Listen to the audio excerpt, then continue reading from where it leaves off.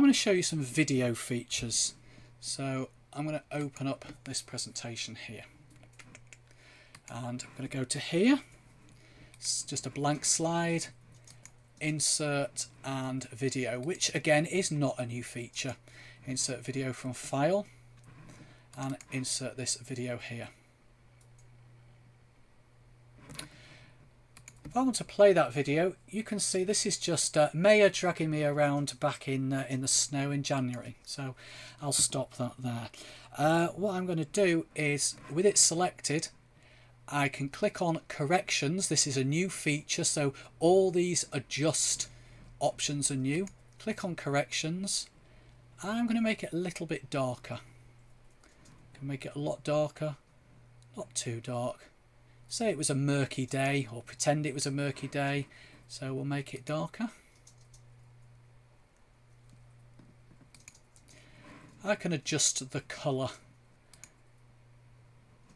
Or what should we have? Should we have a red or? Let's go for a let's go for one of these. Something like that. A nice cold December or January morning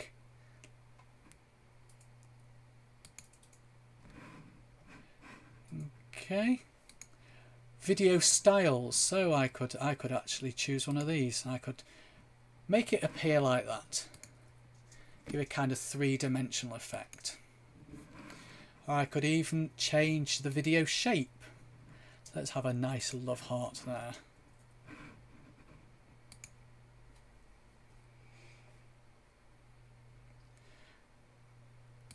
How cool would it be to present something like this at a, a team meeting or something like that? Let's go back to video shape and just put it back to a, a rectangle and just put this uh, this back to its default. Now, as well as being able to do all that, you can even edit the video. So with that selected, on the video tools tab on playback, I can choose a time that I want to fade the video in. So maybe fade it in after three and a half seconds. Let's play that. You can see after three and a half seconds we get a nice little crossfade. Come on, stop. And I can trim the video as well. Whoever thought we'd see the day when you could trim video in PowerPoint. So I'm going to have it starting, say at three seconds, and ending there. Click on OK. And then run it. So you can actually edit videos inside PowerPoint. So that's the video editing features. You've also got uh, image editing features. So for example, um, if I use this one, if I use this one of, of the dog, which is, is well blown out, uh, select the image and under picture tools click on format. And I've got things like corrections. So if I want to darken it reduce the brightness and contrast I can do all those kind of things. Things that you know before you'd have to use Photoshop for or Paint Shop Pro or something like that. I've got color saturation. So if I wanted to make it a, a black and white picture change the temperature all these kind of things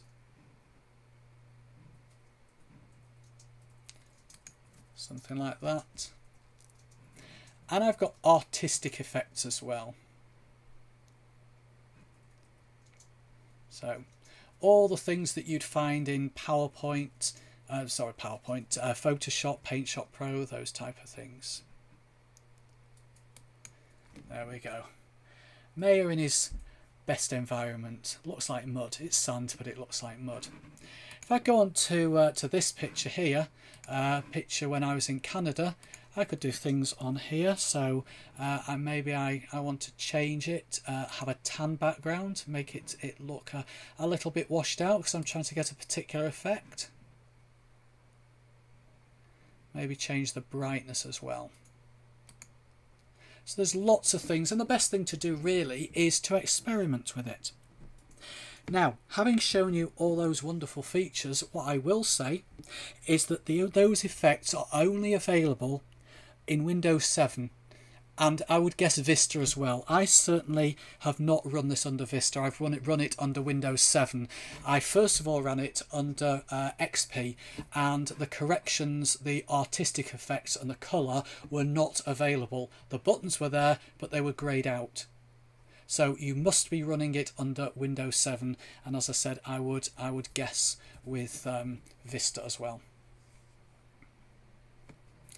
Finally, I'm going to show you how you can remove the background. So if I click on this, what I'm going to attempt to do is put the dog onto here, but knock out the screen, knock out the background of the screen. So I'll click on that and click on remove background. And it gives this this nice pink colour. So I'm going to select the whole of the camera.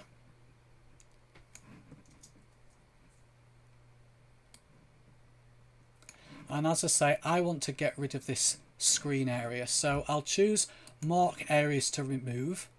And I can either click, do lots of clicks, and I get lots of points, or I can actually drag a line.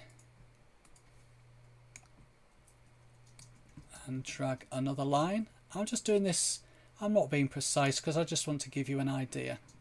As you can see it's removed a bit too much there because it, it works on its internal colour algorithms.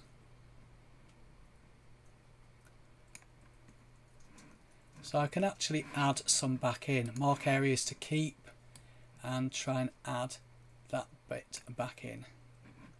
Okay, so assuming that's the bit I want to knock out, I'll keep the changes. And see it's a little bit rough and ready, but I will bring the dog in.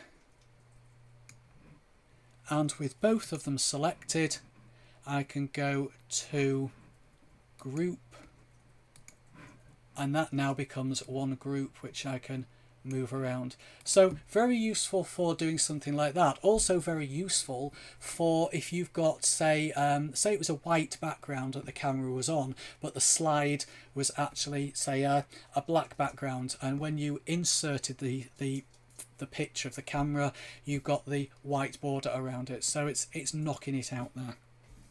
Again, that is only available in Vista and Windows 7 as well.